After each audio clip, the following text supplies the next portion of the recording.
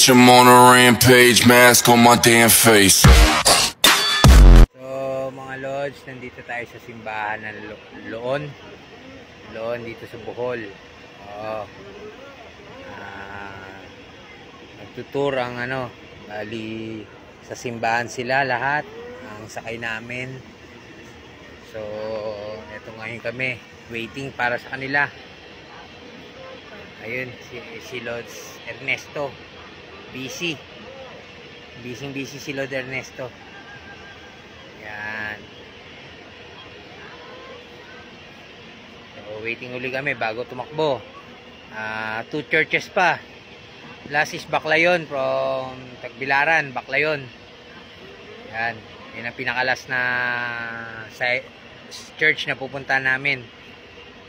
So, mamaya uli mga lods.